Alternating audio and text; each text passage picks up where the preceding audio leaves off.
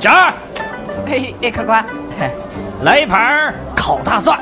这个没有，什么？连大蒜都没有？你还卖什么烧烤啊？不是不卖，是怕你吃不起呀。算你狠！啊，野菜！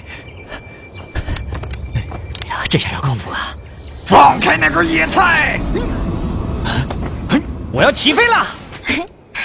哎，终于有青菜吃了。别动！哼！你敢抢我的青菜？你知道多少钱一吨吗？这段时间，每当我看到那些买青菜吃的人，都会偷偷瞄几眼，羡慕那些有钱人能吃素，所以才来挖野菜。你敢跟我抢？友谊的小船说翻就翻，爱情的巨轮说沉就沉，蔬菜的价格说涨就涨。本来姐我是吃素的，这个社会却逼我吃肉。这个青菜我要定了。您听说了吗？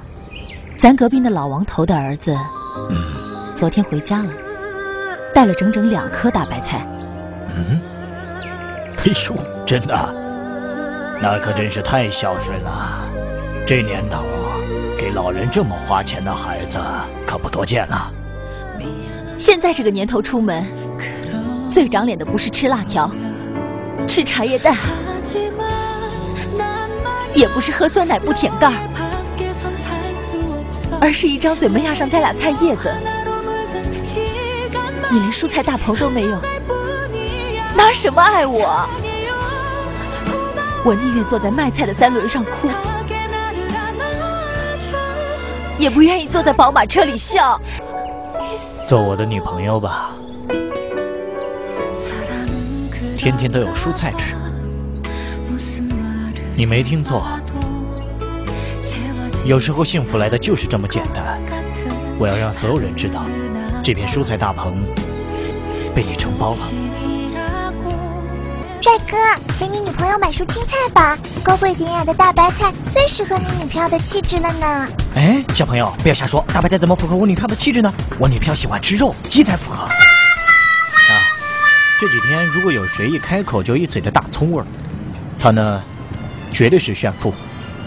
拜访客户前吃一颗大葱，客户一闻，这公司有实力；相亲前吃一颗，姑娘一闻，这小伙有实力。哎呀妈呀！怪不得那天吃了两口大葱，逛街的时候打了个哈欠，周围的人都用崇拜的眼神看着我。